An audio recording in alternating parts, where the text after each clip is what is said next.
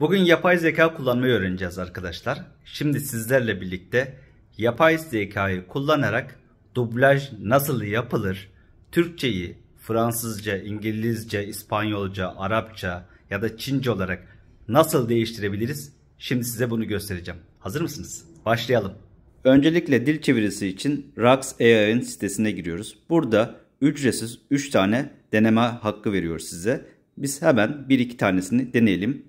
Burada isterseniz videoyu yükleyebilir, isterseniz de YouTube linki de koyabilirsiniz. Ben önceden çekmiş oldum. Videomu yüklüyorum. Hemen burada İngilizce, İspanyolca istediğim dile çeviriyorum ama ben anlaşılsın diye İngilizceye çevireceğim arkadaşlar. İşlem 2 dakika içinde bitiyor arkadaşlar. Download kısmından da videoyu bilgisayarınıza indirebilirsiniz. Bakalım nasıl olmuş. Today we will learn how to use artificial intelligence friends. Now, how to make dubbing using artificial intelligence with you. How can we change Turkish into French, English, Spanish, Arabic or Chinese? I'm going to show you now. Are you ready? Let's get started.